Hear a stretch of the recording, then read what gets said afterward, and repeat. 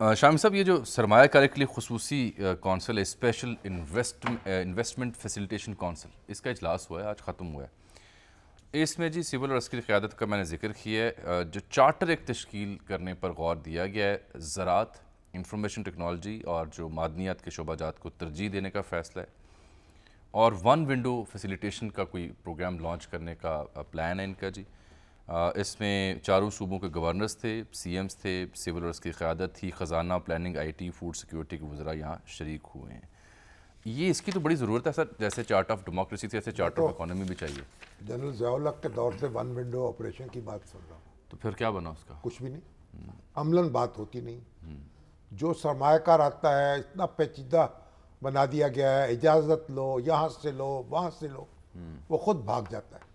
मुख्तलिफ़ सरकारी महकमे गिद्धों की तरह उसके पीछे पड़ जाते कोई अड़तालीस से बावन स्टेजेस हैं जो पूरी करते करते इन्वेस्टमेंट और जाता है।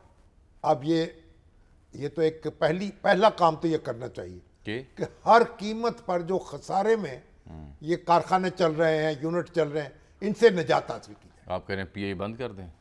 बिल्कुल बंद कर दे कोई अर्ज़ नहीं। स्टील मिल्क बंद कर दें। हाँ जी। वो तो बंद पड़ी है। फिर सियासत का क्या होगा? नहीं नहीं आपने जो खसारे में चलने वाले अदारे हैं उनको प्राइवेटाइज करें। आप हज़ारों अरब रुपए ये निकल गए हैं हमारे। और उसके बाद पॉलिसी बनाएँ एक सेंट्रल एक सेल बनाएँ ताकि जब भी कोई मुश्किल हो फौरी तौर पर उसे रफा किया जाए। जो इन्वेस्टर आ रहा है टारगेट मुतयन किया जाए। और वो पॉलिसी कोई बदल ना सके। कोई हुकूमत आए कोई जाए पॉलिसी जारी रहनी अच्छा, चाहिए। अच्छा ये है तो बड़ा खुश आइंद और जारी रहनी चाहिए लेकिन इसके लिए आप नहीं समझते कि जो पॉलिटिकल स्टेबिलिटी है वो बड़ी ज़रूरी है। हर चीज़ ज़रूरी है ना। पॉलिटिकल स्टेबिलिटी ज़रूरी है उससे इकोनॉमिक स्टेबिलिटी आएगी।